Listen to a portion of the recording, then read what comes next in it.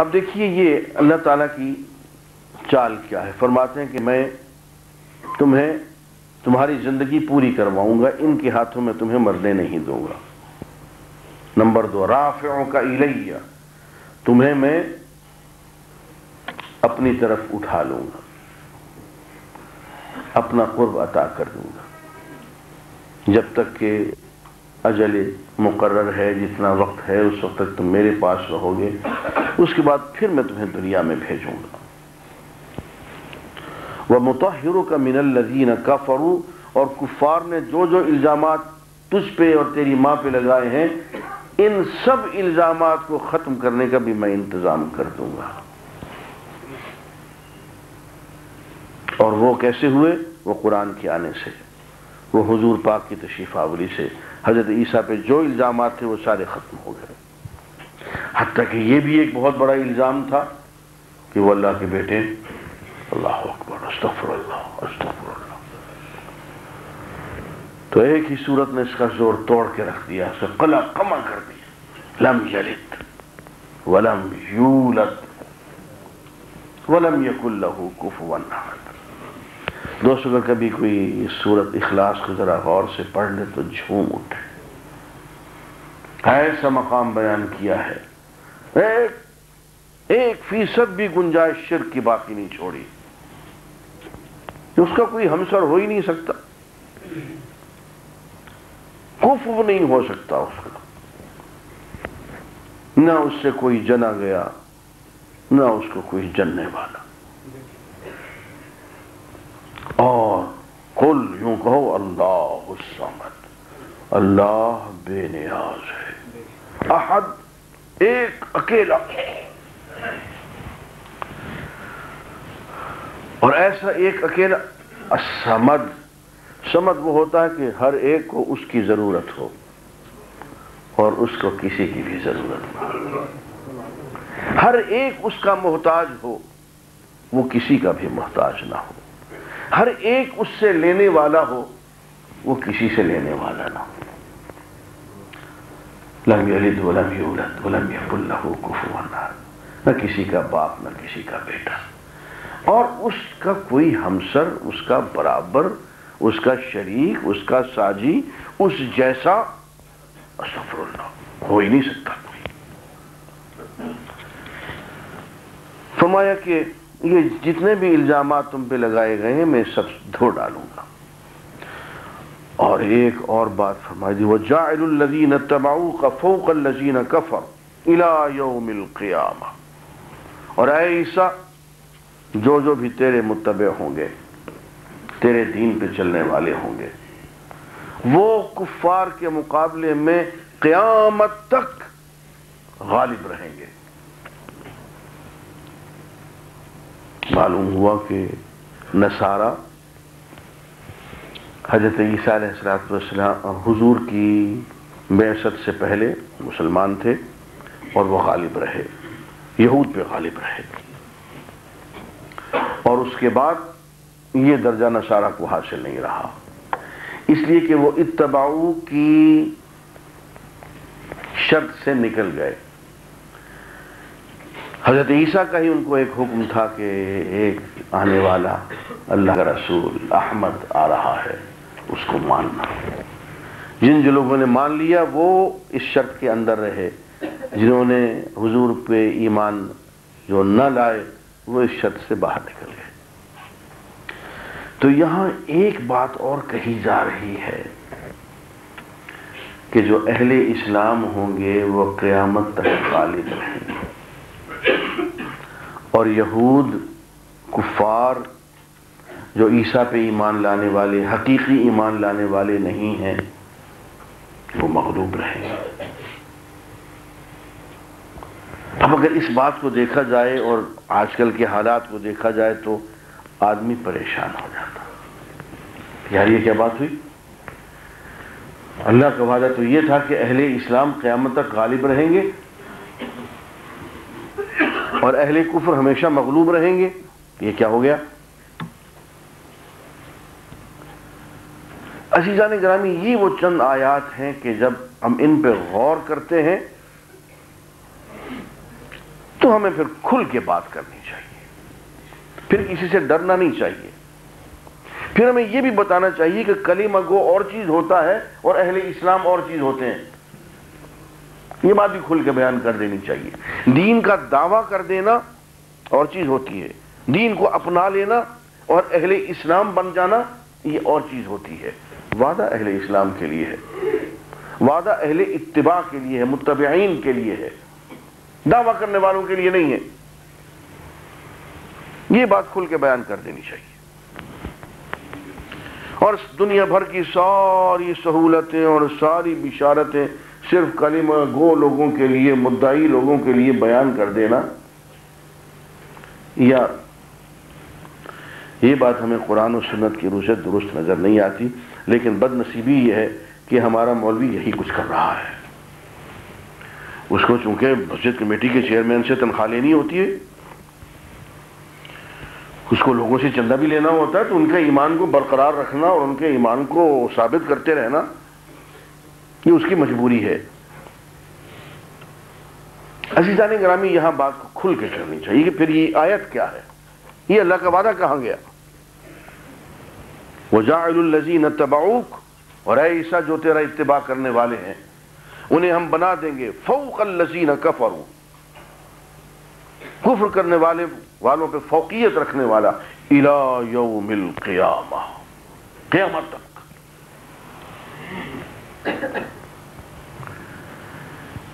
اور یہاں سے یہ مسئلہ بھی سامنے آ جاتا ہے کہ یہود کو اس وقت جو سیاسی فوقیت ہے وہ کیوں ہے؟ مولانا ابو الحسن علی ندوی رحمۃ اللہ علیہ۔ ہمارے استاد بھی تھے، شیخ طریقت بھی تھے، آخر میں ہم نے ان کے ہاتھ پہ بیعت بھی کی۔ ان سے دستار بندی بھی کروائی۔ عزیزان گرامی، انہوں نے ایک خوبصورت مثال دی ہے۔ مثال یہ ہے کہ ایک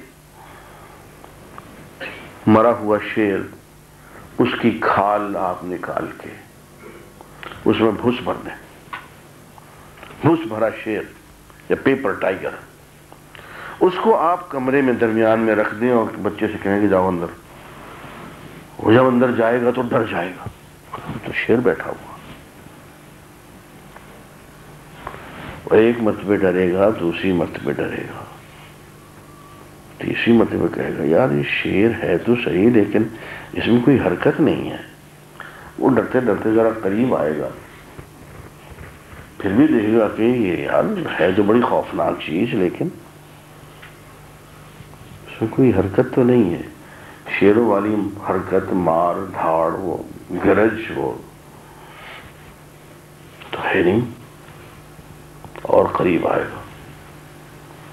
پتہ چل جائے گا کہ یار یہ کوئی نقلی شیر ہے، یہ اصلی شیر نہیں ہے۔ پھر وہ پہلے اس کی دم کو پکڑے کا ہلائے گا، دیکھے گا کہ دم روڑ دی، کچھ نہیں ہوا۔ پھر ٹانگ کو ذرا سا ہلائے گا، پتہ کر کے تو کچھ بھی نہیں ہے۔ پھر اس کی وہ کھال کو ذرا تھوڑا سا اس میں سے بھوس باہر نکال دے گا۔ اور پانچ منٹ کے اندر شیر صاحب کا کھال الگ پڑی ہوگی اور بھوس الگ پڑا ہوگا اب کہنے کو آپ کہہ لیں کہ ایک بچے نے شیر کو پچھاڑ دیا۔ شیر بڑی بھیانک چیز ہوتا ہے، بچہ بہت کمزور ہوتا ہے۔ لیکن عزیزان گرامی، ایک بات یاد رکھیے نقل نقل ہوتی ہے اور اصل اصل ہوتا ہے۔ نقل دیکھنے میں جتنی بھیانک نظر آئے آئے۔ لیکن اس کی حقیقت صفر سے زیادہ نہیں ہوتی ہے۔ اصل دیکھنے میں کتنی کمزور نظر آئے۔ اور کمزور ہو، بچے کی طرح کمزور۔ لیکن اصل وہ اصل ہے۔ اس میں حیات ہے۔ وہ بچہ ہے، لیکن اصلی بچہ ہے بھائی۔ اس میں زندگی ہے، حرکت ہے، شعور ہے، کمزور صحیح۔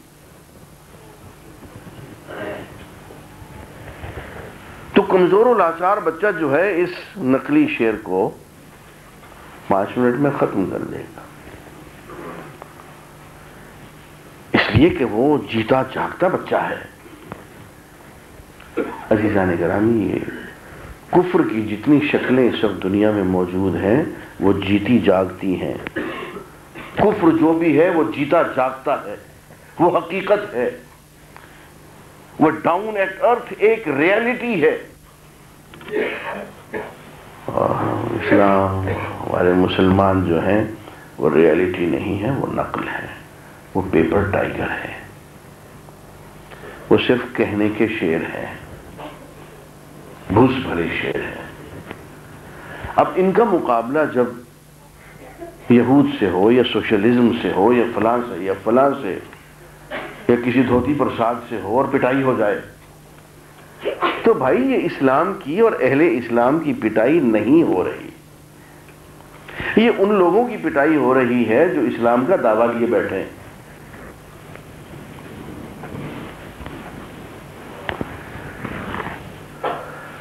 اس لیے ہمیں یہ کہنا پڑے گا کہ یہ جو اس وقت ہم جس چھپن ملک، چھپن پیپر ٹائگرز یار غضب خدا کا کوئی سوچنے والا نہیں، چھپن ملک ہوں، ان کی اپنی کوئی اقوام متحدہ نہ ہو، ان کا اپنا کوئی مشترکہ بینک نہ ہو، اسلامی بینک نہ ہو، اپنی ان کی کوئی مانیٹری پالیسی نہ ہو، اپنی ان کی کامن مارکیٹ نہ ہو، اپنی ان کی کوئی کامن عدالت نہ ہو، اپنی ان کی کوئی نیوز ایجنسی نہ ہو، چھپن ملک ان کا اپنا کوئی پرنٹ میڈیا نہ ہو، الیکٹرانک میڈیا نہ ہو، مشترکہ دفاع نہ ہو، اس کو پکڑ کے کہیں وہاں اس کی گردن مروڑ دی، اس کی کہاں ادھر گردن مروڑ دی، کبھی کوسوو میں، کبھی بوسنیا میں، کبھی فلسطین میں، کبھی کشمیر میں، کبھی افغانستان میں، کوئی چھڑانے والا ہی نہیں۔ گرامی اہل اسلام تو جو نہیں ہوتے۔ یہ تو کوئی ایسا روگ لگا ہوا ہے کہ لگتا یہ ہے کہ ہم اہل اسلام کے دائرے سے باہر نکلے ہوئے ہیں۔ اور دیکھیں، خیریت یہ ہے، خیریت اسی میں ہے۔ اگر اللہ کے اس کلام کو یا تو آپ کہیں کہ یہ جو آیت لکھی ہوئی ہے یا غلط لکھی ہوئی یا تو یہ کہیں، ضرورت کریں نا مولوی صاحب، کہ یہ جو آیت لکھی ہوئی ہے، یہ بات غلط ہے، یہ نہیں مانتے۔ اور اس کو اگر دوست مانتے ہیں، اگر آپ، تو اپنے آپ کو پھر اہل اسلام کے دائرے سے باہر لے جائیے۔ کوئی اور راستہ ہے تیسرا؟ کوئی تیسرا راستہ ہے تو بتا دیں۔ یا تو اللہ نے جو وعدہ کیا ہے، نعوذ باللہ نعوذ باللہ، یہ وعدہ درست نہیں ہے؟ یا پھر یہ مان لیجیے کہ اللہ کا یہ جو وعدہ ہے، اس وعدے کے ہم مستحق نہیں۔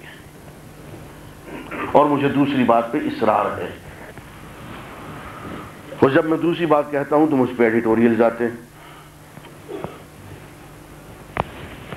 کہ ڈاکٹر صاحب جو ہے بڑی متنازع باتیں کرنے لگے ہیں۔ یہ متنازع باتیں اس لیے ہیں کہ آپ نے کبھی سنی نہیں ہے پہلے۔ اور آپ میں اس کے سننے کا حوصلہ نہیں ہے۔ اور اس لیے کہ مولوی صاحب اور پیر صاحب آپ کو لوریاں دینے کے اور آپ لوریاں سننے کے عادی ہو چکے ہیں۔ کوئی ایسا آدمی جس کو ووٹوں کی بھی لالچ نہ ہو، چندے کی بھی لالچ نہ ہو، کوئی سر پھرا مولوی، اس سے ذرا پوچھے تو صحیح کہ اس آیت کا مفہوم کیا ہے۔ اللہ کا وعدہ تو یہ ہے کہ جاعل الذین اتبعوا کا فوق کفروا یوم القیامہ۔ جو اسلام پہ حضرت عیسیٰ کا، حضرت محمد رسول اللہ صلی اللہ علیہ وسلم کا اتباع کرنے والے ہوں گے، وہ قیامت تک غالب رہیں گے۔ اب یا اس پہ شک کر لو یا اپنے ایمان اسلام پہ شک کر لو۔ اور میں آپ سے سچ کہتا ہوں، خیریت دوسری بات میں ہے۔ اس پہ شک کرو۔ اور جب شک کرو گے تو اصلاح کی گنجائش پیدا ہوگی۔ اور جب اس پہ پورے پورا اطمینان ہوگا کہ بھئی اتنا ایمان تم اتنا ہی لا سکتے ہیں۔ میں اطاعت اور اتباع تو اتنی ہی ہم کر سکتے ہیں، اس سے زیادہ تم اور کوئی گنجائش نہیں ہے۔ اگر یہ صورتحال ہے